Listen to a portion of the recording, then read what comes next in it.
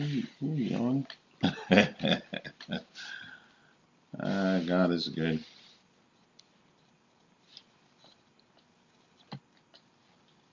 Praise the Lord, everybody. Everybody ought to praise the Lord. Praise the Lord, everybody. Praise the Lord. Praise the Lord, everybody.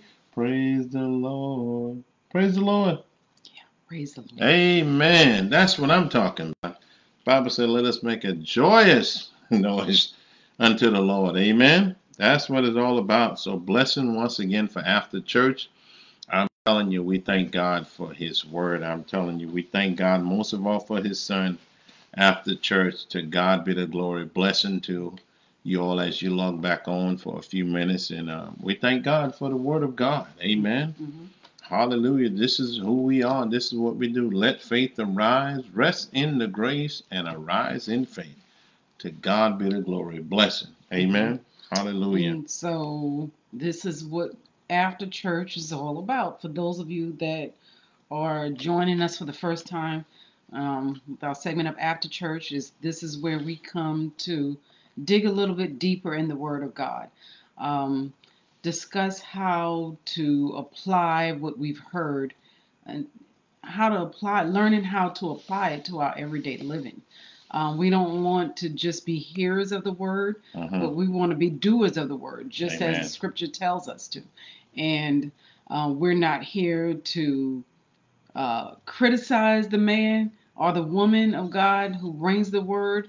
And uh, we're not here to try to preach the word all over again. This is about Definitely studying. not. Amen. It is after church. It is. It says exactly. Um, we do exactly what this this um, what the topic says after church. What do you do after church once you have heard the word? How do you apply the word? Are you asking questions?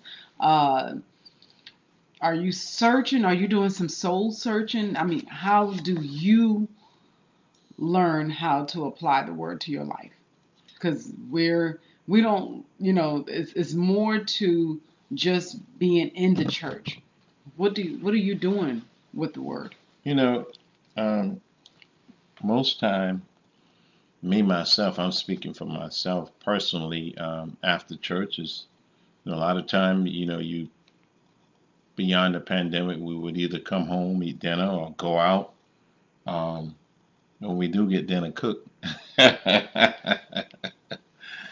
well, anyway, that's another story. But yes, um, it is. it just, just you know, a lot of time we would, whether we at a restaurant or whatever, we would talk, you know, the word over with the word, and you might have some people, man, that was a good word. That was a good, not just saying it was a good word, but we really gotta um, let apply that word to what we've heard to go out and share the word of God, and that's what that's what it, it, it's all about. Um, you know, a lot of time we got other things on our agenda that you know while we're in the service, while we're hearing the word, we say I got to go to this place, I got this going on, and but you know, imagine this focusing on the word, because when we focus on the word, and then after church, we you know things that we thought that was going to bombard us down, or we couldn't get to what we need to get to it just leveled right on out when we decided to put that word first. Amen. Mm. Yeah, and I know um, for me personally, you know, whenever I go to church, this is like it's like a classroom for me. It's like school because I'm I want to learn. I Mhm. want to learn. I want to learn more of who God is. I want to learn more of His ways, and you know, ju- the Scripture tells us that He's He's a great Almighty God. He's the great Almighty God. Yes, he is. He's Creator. He's Redeemer. He's Savior. He's Deliverer. So we can never hmm know. We'll we'll never get to the place of knowing um, knowing all. So I want to learn as much as I can when I have the opportunity to. Yes. So um, like I said, it's like a class. It's like classroom. It's like a school for me, and um, I don't care to do a lot of chit chat, and I don't want a lot of conversations going on around me. Um, I tend to sit where I can take notes and, and and gather my information, and once the once it's over, once we've um, been dismissed from the service, I'm I'm I'm thinking, I'm thinking, okay, well, what? How does this apply to me? How does this apply to my life? How can I do better? How can I live better? How can I um, be a better be a better person overall? Be better in my my thinking. So this is where I begin to um, look at myself. You know, when you think about it, um, because the classroom setting and is the same thing when we gather ourselves together to go into church. We go to receive, to learn, and as God speak to us, as the man or woman of God is bringing forth the word of God. And it's the same thing when you we send our kids to school. They go there to learn, and uh, whether they have homework, say, "Mom, Dad, I got this going on today." And it's the same thing, you know, after church as far as the word of God that we've heard you know, and that's where we should apply it some way, somehow, whether it's after church, whether it's the next day, sooner or later, you're going to need to apply that same word that was preached, that word that was teach, that word that you heard, whether it was today, yesterday, last week.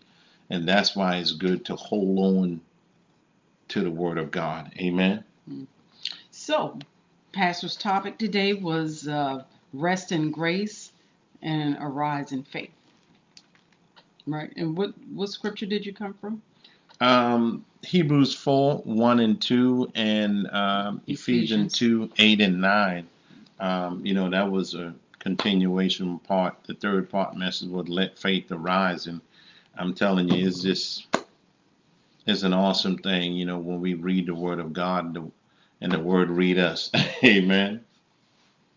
So, you know, for me, how I learn to apply is ask questions. I begin to ask questions. So, um, arising, you know, well, first of all, resting to rest in grace. Um, you know, resting in grace is, you know, is is resting in Jesus Christ, resting in His Word, resting in His promises, and that doesn't mean just literally. Uh, you know, when we think of rest, maybe the first thing we may think of is laying in your bed. Mm-hmm. Laying in your bed. So um, so but but it doesn't literally mean just to lay there and do nothing. Gotcha. It doesn't mean we're not doing anything. But when we're resting in his grace, we're resting in his um, we're at peace. Mm-hmm. Amen. We're at peace, and we're not we're not battling with a work that has already been done. Amen. That's good. We're not fighting with something that He's already done for Amen. us. Amen. That He did, that Jesus Christ did upon the cross. Yes. Um, it's a finished work. So it is. there's no battle. There's no back and forth. Mm-hmm. Um, That's good. With that, we're just we're okay with mm-hmm. what He did. We're yes. settled. Our our mind, our spirit, and our mm-hmm. soul is settled in what Jesus Christ has done. So that for me, that's what resting in um, in His grace is. So it's resting in what Jesus has done, and um, through you know by the by the grace of God, um, this is what has already been done. So that that's a finished work no one can't take it from me. No one else can give it to me. Yes. There's nothing that I can do to earn it. It's given to me because I have surrendered my life unto Jesus Christ. I've received his salvation. So it is mine. It belongs to me. It rightfully belongs to me as a believer, as a child of God. Yes, yes. Thank God. Wow. You were getting ready to say something else? But no, I, I you you good. I, I'm just I'm just thinking, not thinking, but because even you know, sometime when I'm doing preparation as far as the message that God want me to bring forth to the people of God, uh, whether it's on Sunday, whether it's on Wednesday, and a lot of time if it don't happen right then and there, and and you know God is telling me He the Holy Spirit said just rest, son, Rest in my grace. I got this. I just need you to do what 2 Timothy 2 and 15 says study to show thyself approved unto God. For a workman need not to be ashamed, rightly dividing the word of truth. Because we can't force the word to come, We can't make it happen, but we got to wait on the Holy Spirit to give us what God wants for the people. Amen. And and I'm and I'm thankful for that when the Holy Spirit said, just rest, rest in my grace. Rest in, and arise in faith. I got this. And and he have it every time. Every time because we we can't fight it. We can't say, okay, God, what do you want me to share? What do you want me to talk about? What do you want? And the God is saying, settle down. there's there's 66 books. Not only 66 book, but a lot of time is mainly uh, sometimes not all the time, but sometimes is the thing that we experience in life, the thing that we go through during the week. God will allow some of that same experience that you and I went through, whether it's throughout the week, whether it's months ago or whatever, He'll bring it back. And that's what I love about the Holy Spirit. That's what grace does. This rest, as we rest in His grace, faiths that arise. Now, this is what I want you to share the people, with the people of God. And I'm I'm just thankful for the Holy Spirit and His message. You know that? Hmm. So again, yeah, we don't have to. It takes the worry Mm-hmm. when we're resting in His grace and Yes. Jesus' grace. It takes the worry out of our lives. Um, it, but it doesn't mean that we won't worry. But when the worry try, that spirit of worry tries to come into our lives, we can remember. Wait a minute. I don't have to do this. Yes. The Holy Spirit. See, this is where the Holy Spirit comes in and remind us of the of, of, of, of the promises of the Mhm. Word of God. The Holy Spirit reminds us of who we are, and more importantly, it reminds us of who God is, Amen. of who our Father is, and who our God is, who our Lord is Yes. and then we can rest in and it takes all of the the anxieties out of Mhm. our lives anxiety stress and, and worry and fear Yes. when we rest in his grace when we rest when we settle down Amen. stand still Amen. and see the salvation of and see the salvation of the lord but to stand still and know that he is god Amen. Amen. when we're resting in his grace Wow. You know, I, I, I, as you were saying that, and not only just saying that, I was listening to what the Holy Spirit was saying to me a few minutes ago in these next couple minutes that we have left. You know, a lot of time, and I've heard it in conversation with individuals saying, well, yeah, I gotta work, I gotta do this, and I, I gotta put in these hours. If I don't put in these hours, these bills roll around like this, and the bill roll around. So they, they're more worrisome than doing this than really resting and giving to God your time, talent, give, possession, money, giving God time, giving God his time, the time that belongs to God. And why am I going there? Because you can't beat God given. God makes it happen. God is the source. Your job and other connection, those are the resource. Without God, the source, there won't be no resource. Thank you, Holy Spirit. It's just like, yes, uh, an example. It's just like the power, the outlet. Okay, that is the the power. And I and I I, I preach the message, and some of you probably this. You know, we we got to stay plugged in. You can take the lamp and put it by that outlet all you want. You can keep turning, keep turning, keep turning. But if it's not plugged into the outlet, the source, that's power that's coming out that outlet, you ain't gonna get nothing. It's the same thing with God. We must stay connected to the source so the resource can come and find us. Mhm. Oh my God. Mhm. Mm. So the resource can come and find us. The blessing will what? Overtake thee. Mhm. And that's what it's all about. the more we stay connected to the source, resource coming to you, resource will find you. Resource is at your house right now. Oh my God. Mm. Mm.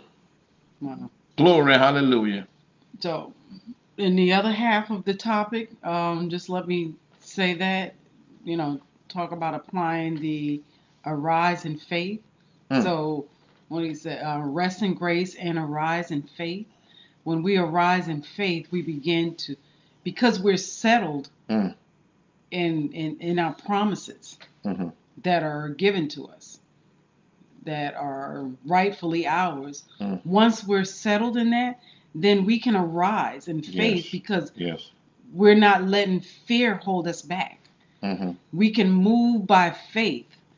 Um, and when we're moving by faith, again, it's it's not just speaking a word, but it's doing. You have corresponding action Wow. to what you believe in. When you arise in faith, you begin to you move. Hmm. Even even if the fear tries to come about, fear will come. Hmm. Fear will come. We're not exempt from fear, but once we're settled in and we rest in in our minds and in our hearts Yes. of the promises that God has given to us that are rightfully ours, then we can have that corresponding action to what we believe faith. Amen. We can move by faith Hmm. because we not only believe it, but then we, our hearts have to move. We have to move because that, it, you can say it, but look, um, what is it? The scripture says that um, faith without works is dead. Amen. You have to move. And because you're settled and you are resting in his promises, you can move by faith. Hmm. Because you, and again, my, my example I always go to, if we say that we, we're believing in God to be our provider, it doesn't, even when the money is lacking, when the money is acting funny, we're not going to stop tithing because of the what, what the, the, mon- the way the money is looking. That's good. We're still going to have that corresponding action Yes. to um to, to to move by what the word says. And when the word says that we are to tithe, we continue to give. Um, we continue to be a cheerful giver, hmm not a fearful giver. Wow. That's good. Not a fearful giver. Cheerful not we fearful. begin to we're cheerful we're not afraid to give just because our money looks strange and is acting funny Wow. so we continue to tithe when we tithe that that tells that money you you're going to you're going to live by faith you're going to work by faith you're going to multiply by faith Wow. Cheerful giving and a not fearful giver. Well, blessing. And we thank God for his grace and we thank God for his mercy. We pray that you've been blessed by the word of God and um, enjoy the rest of your week and knowing that this is a blessed week coming up, knowing that God has blessing, blessing, blessing for you. Amen. So again, thank you for joining us uh, for our segment of After Church. Again, um, as always, please stay safe. Uh, the numbers are increasing with you know um, COVID infections, so please wear your mask. Practice social distancing. Whether you whether you have been vaccinated or not, when you are in closed doors um, or a, a large gathering, if you can't um, seem to, if you don't have a choice, and then you are in a large gathering, please wear your mask.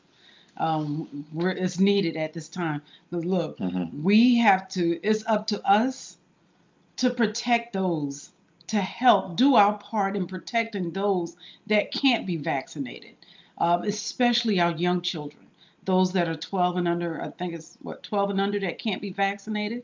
So please, um, let's do our parts as as responsible adults.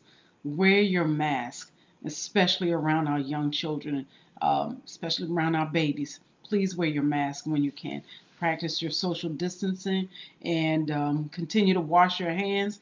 Um, continue to use that hand sanitizer and do your part. Let's do our part and get this thing out of the way. So to God be the glory. Um, enjoy the rest of your Sunday. Enjoy the week, and we will see you back here on uh, Sunday. Amen. We'll see you back on Sunday because we will not have Bible study this Wednesday. Okay. So God bless you, and we love you. Love you.